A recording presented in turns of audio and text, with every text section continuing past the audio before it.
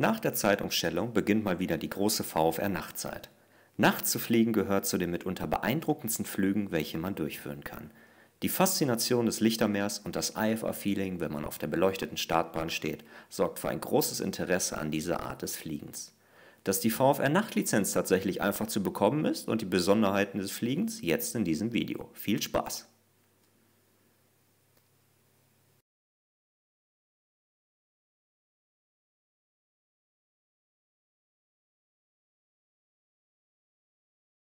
Das Night Rating erlaubt es dem Piloten, Flüge unter Sichtflugbedingungen bei Nacht durchzuführen.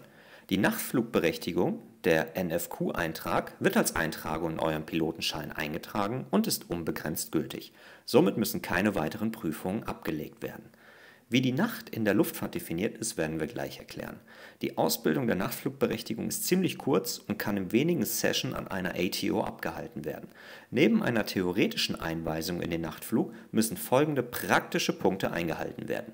Mindestens 5 Stunden Flugzeit, davon mindestens 3 Stunden mit Fluglehrer, mindestens eine Stunde über Land mit mindestens 50 Kilometern Strecke, das sind 27 nautische Meilen, und Solo 5 Starts und 5 Full-Stop-Landings. Die Regeln und genauen theoretischen Inhalte findet ihr im Part FCL 810 Night Rating. Wichtig hierbei zu erwähnen ist das Full-Stop Landing. Touch and Goes zählen nicht hierzu, also muss es zum vollständigen Stillstand des Luftfahrzeugs kommen. Man rollt also von der Piste ab und kann direkt wieder zum Rollhalt, um zu starten. Eine Prüfung muss nicht abgelegt werden, sondern die erfolgreiche Ausbildung wird der zuständigen Behörde gemeldet. Die fehlende Prüfung und der geringe Aufwand macht das VfR-Nachtfliegen für viele Leute tatsächlich sehr attraktiv. Hinweis nochmal für die kleinen oder für die Lappelpiloten.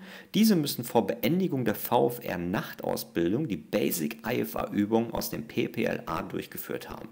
Doch dies lässt sich jedoch an der Flugschule optimalerweise in einem Rutsch erledigen. Doch wann ist jetzt eigentlich Nacht? Die Nacht in der Luftfahrt ist definiert als Zeit zwischen Ende der bürgerlichen Dämmerung, der ECET, End of Civil Evening Twilight, bis zum Beginn der morgendlichen Dämmerung, BCMT, Begin of Civil Morning Twilight. Hierbei handelt es sich um eine Dauer von ca. 40 Minuten bei der Dämmerung.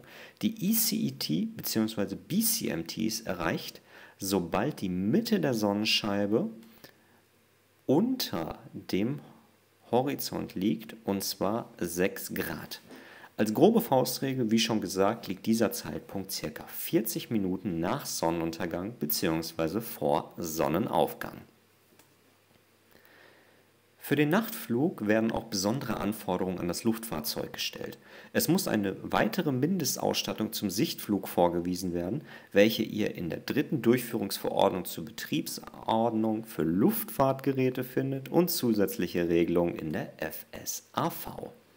Zusätzlich zur üblichen Mindestausstattung für Sichtflüge am Tag, welche ihr hier seht, wird folgende Ausrüstung vorgeschrieben ein künstlicher Horizont, Scheinlotanzeige, Kurskreisel, Variometer, dann ein Landescheinwerfer, Beleuchtungsanlagen, eine Taschenlampe für jedes Besatzungsmitglied, hierzu zählt jetzt kein Passagier, die Beleuchtung der Fluginstrumente, ein Außenluftthermometer und die Anzeige über die ordnungsgemäße Funktion der Energieversorgung der Kreiselgeräte, also die Suction Indication. In der FSAV ist dabei noch zusätzlich geregelt, dass eine Funkanlage auch bei Tag natürlich da sein muss, ein Mode Sierra fähiger Transponder und ein VOA-Gerät.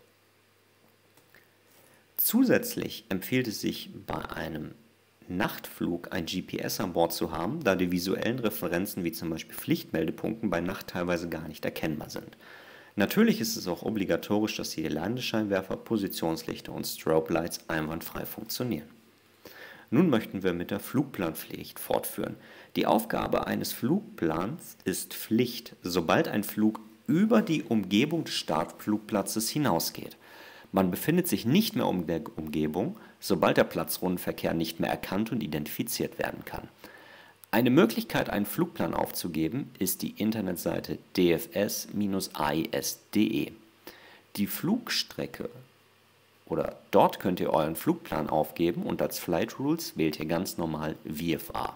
das ehemalige Remark im Feld 18, VFA Night, ist seit Sera nicht mehr nötig. Die Flugstrecke solltet ihr an IFA-Waypoints orientieren, ist jedoch nicht obligatorisch. Ihr könnt euch beispielsweise von VOA und Flugplätzen entlanghangeln. Ein explizites Abfliegen dieser Strecke, die ihr aufgegeben habt, ist nicht Pflicht. Es hilft dem Fluglotsen nur einen groben Überblick über eure Strecke zu erhalten. Nun kommen wir zur Freigabepflicht und Staffelung. Hier hat sich seit der Sera-Reform tatsächlich eine Menge getan. Tatsächlich ist für den expliziten VfR-Nachtflug keine Freigabe mehr erforderlich. Ihr müsst euch also keine Freigabe mehr einholen, um VfR-Nacht fliegen zu dürfen. Unberührt hiervon bleiben selbstverständlich die freigabepflichtigen Lufträume. Möchtet ihr also beispielsweise einen Luftraum Delta oder Charlie passieren, ist eine Freigabe Pflicht. Diese unterscheidet sich jedoch nicht von den Regeln, welche am Tag für VfR-Flieger gültig sind. Die Staffelungsverpflichtung hat sich durch die Sera-Reform ebenfalls geändert. VfR Nacht wird nicht mehr zu IFA-Verkehr gestaffelt. Früher mussten VfR-Nachtflugzeuge zu IFA-Verkehr mit 1000 Fuß bzw. 3 oder 5 nautische Meilen gestaffelt werden. Auch dies ist nun weggefallen. Grund hierfür ist die Kombination mit der Regel der fehlenden Freigabepflicht. Wie sollen Luftfahrzeuge gestaffelt werden, wenn man nicht weiß, was sie tun werden? Natürlich bleiben hiervon wieder Regelungen wie Staffelung im Luftraum Charlie von IFA und VFA-Verkehr unberührt. Der Funkkontakt. Es muss Funkkontakt hergestellt werden, sofern verfügbar. In Gebieten, in denen eine Funkverbindung nicht etabliert werden kann, ist dies also nicht nötig. Jedoch befindet man sich in diesem Fall meist tief und in schwierigen Gelände, weswegen in diesen Fällen ein VFA-Nachtflug dringend abzuraten ist. Diese Regelung gilt vor allem für Rettungs und Polizeihubschrauber, welche ein Nachtsichtgerät benutzen und ohne Probleme tief VfR nachts fliegen können. Für den Funkkontakt ruft man bei der üblichen Fristfrequenz herein. Diese ist vor allem bei VfR-Nachtwetter bis in die Nacht besetzt, um die Fluglotsen zu entlasten. Ist FIS bereits doch geschlossen, könnt ihr direkt die Radarkontrollfrequenz rufen, falls ihr die kennt, oder auf der FIS-Frequenz, welche abgehört wird und diese werden euch dann zu dem entsprechenden Sektor schicken. Wetter. Nun Wetter nach Sera 5005. Die beschreiben nämlich folgende zusätzliche Regeln. Maßgeblich sind die üblichen Wetterminima, jedoch gibt es eine zusätzliche Regelung. Bei einem Flug unter 3000 Fuß MSL bzw. 1000 Fuß über Grund, maßgeblich ist hierbei der höhere Wert, muss der Pilot ununterbrochene Bodensicht haben. Des Weiteren ist bei der Flugplanung darauf zu achten, dass der Spread der Temperatur nicht allzu niedrig ist. Hierbei steigt die Gefahr, dass sich Nebel bilden kann, welcher die Flugsicht schnell eintrübt Generell sollte VfR Nacht nur bei sehr gutem Wetter mit wenig und keinen Wolken, geringer Vereisungsgefahr und guten Sichten geflogen werden, da viele Plätze nachts geschlossen sind und somit weniger Ausweichalternativen zur Verfügung stehen und nachts die Notlande- bzw. Sicherheitslandemöglichkeiten nur schwer zu identifizieren sind. Ein wichtiger Punkt beim Nachtflug ist das ehemalige Nachttiefflugsystem, die heutige EDR 150. Hierbei handelt es sich um ein über Deutschland aufgebautes militärisches Streckensystem, welches im Tiefflug von militärischen Jets abgeflogen werden kann. Alle wichtigen Informationen hierzu findet ihr in der RIP-VFA und in einem veröffentlichten AIC. Die laterale Streckenführung findet ihr in der RIP-VFA en Route-Teil 3-4 Delta beziehungsweise in eurer VFA-Chart 1 zu 500.000, wenn ihr die Version mit der EDR 150 besitzt. Also es gibt eine spezielle Version für den Nachtflug. Diese ist in der normalen Version nicht integriert, könnt diese jedoch auf Nachfrage bei jedem gut sortierten Händler finden. So sieht die Streckenführung in Deutschland aus, aber keine Sorge, ihr müsst nicht von dem gesamten Nachttiefflugsystem frei bleiben. Die Aktivierungszeiten sind nur von Montag bis Donnerstag von Sunset plus 30 Minuten bezogen auf Kassel bis Mitternacht. Wichtig ist der Hinweis, dass sich die Sunset-Zeit auf Kassel bezieht und es somit zu mehreren Minuten Differenz kommen kann. Dabei muss man nur von den Segmenten frei bleiben, welche tatsächlich auch aktiv beflogen werden.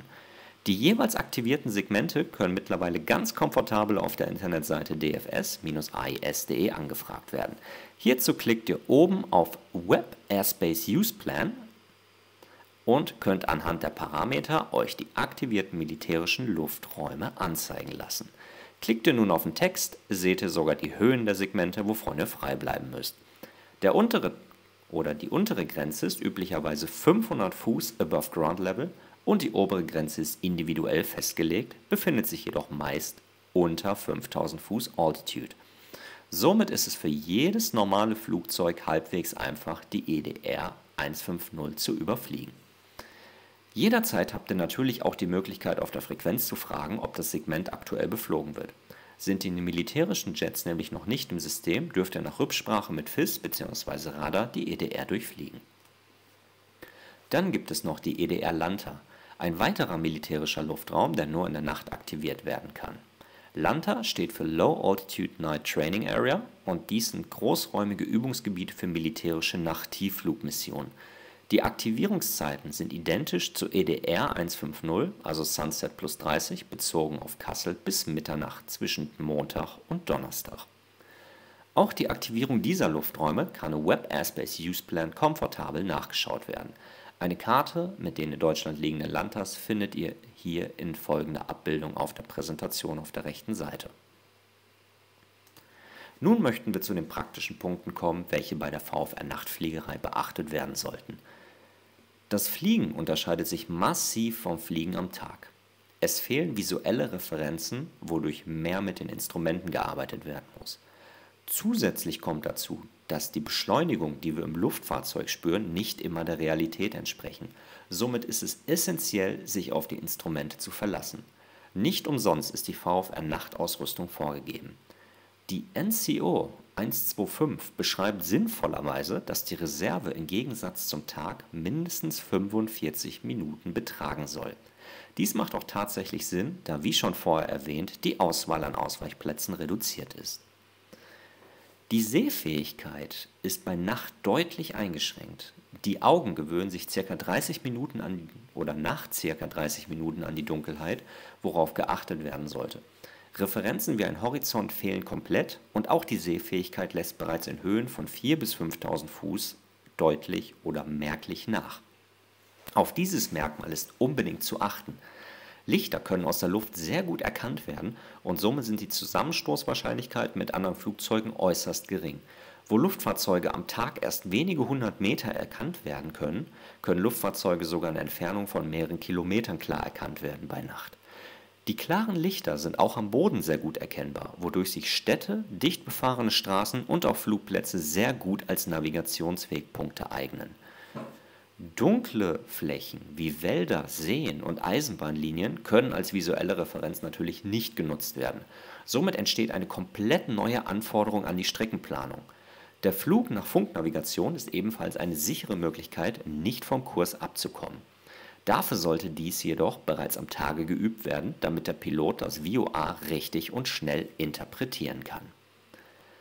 Als Reiseflughöhe sollte stets eine ausreichende Höhe geplant werden, um alle Hindernisse sicher und mit genug Höhe zu überfliegen. Außerdem bietet eine hohe Reisehöhe den Vorteil, dass der Pilot mehr Zeit zum Troubleshooten hat, falls es im Flug zu einem Problem kommt wenn ihr eure Flugplanung auf der Maximum Elevation Figure, wie die ihr auf der Karte findet, definiert, solltet ihr tatsächlich darauf aufpassen, dass die nur einen sehr geringen Puffer hat. Außerdem sollte man auf Notems achten, wo von bestimmten Hindernissen, die normalerweise beleuchtet sind, die Lampen nicht funktionieren und somit die Hindernislichter außer Betrieb sind. Jetzt nochmal kurz zum Maximum Elevation Figure. Diese bezieht sich auf einen großen Bereich auf der VFA-Chart, nämlich von 30 breiten Minuten mal 30 Längenminuten. Und hier als Beispiel haben wir eine 10, sprich 1000 Fuß als Maximum Elevation Figure. Die MEF wird nun so definiert, dass man in diesem Quadrat entweder das größte Hindernis sucht, welches befeuert ist, oder den höchsten Geländepunkt. Ist es der höchste Geländepunkt, wird diese höchste Erhebung genommen. Es wird ein fiktives Hindernis von 328 Fuß draufgestellt, also 100 Meter, und dann nochmal ein 30 Fuß Aufschlag und dieses Ergebnis wird dann aufgerundet. Handelt es sich um ein Hindernis, wird einfach ein 60 Fuß Aufschlag draufgerechnet und dieser Wert wird aufgerundet.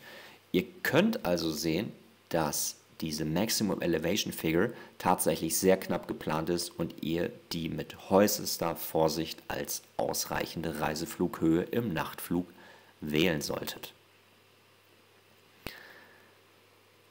Nun kommen wir wieder zum Anflug.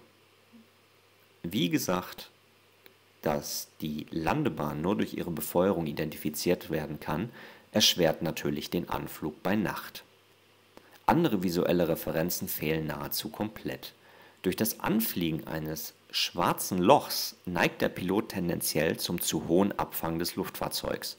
Auf diesen Effekt sollte geachtet werden, um ein zu hohes Abfangen zu vermeiden. Außerdem sollten Hilfsmittel wie die optische Anflughilfe PAPI genutzt werden, um den richtigen Anflugwinkel einzuhalten. Tendenziell sollte man eher zu hoch am Fliegen, um ausreichend Puffer zu haben, falls Hindernisse zu überfliegen sind. Außerdem könnt ihr mit dem Flugleiter, sprich Fluglotsen, reden, falls die Befeuerung zu hell eingestellt ist und ihr geblendet werdet. Das PAPI steht dabei für Precision Approach Path Indicator und zeigt euch an, ob ihr zu hoch oder zu tief anfliegt. Seht ihr zwei weiße und zwei rote Lämpchen, befindet ihr euch auf einem optimalen Anflug und wie ihr euch denken könnt, rot ist schlecht, weiß ist dabei nicht gut, aber zu hoch. Seht ihr also drei oder vier weiße Lämpchen, befinden wir uns zu hoch im Anflug, beziehungsweise auf einem optimalen Anflug. Und sehen wir drei oder vier rote Lämpchen, befinden wir uns zu niedrig und sollten tatsächlich aufpassen. Eine weitere große Gefahr ist die schlechte Identifizierung von Wolken, auf die ich noch kurz zu sprechen kommen möchte. Kommt es zu einem ungewollten Einflug in Wolken, sollten die Strobes ausgeschaltet werden, um das Blitzen zu verhindern und eine Umkehrkurve durchgeführt werden. Verlasst euch auf die Instrumente und nicht auf euer Bauchgefühl. Kurft nicht zu eng, da durch die Lastvielfachen die Tendenz zum Sinken besteht und die Überziehgeschwindigkeit zunimmt. Wie ihr seht, wir hatten jetzt eine Menge Informationen im Video, doch ich hoffe, ich konnte euch einen ausreichenden Überblick und ausführlichen Überblick über die Regeln der VfR Nachtfliegerei geben. Ich wünsche euch viel Spaß und hoffe, dass euch das Video gefallen hat. Bis zum nächsten Mal und Happy Landings!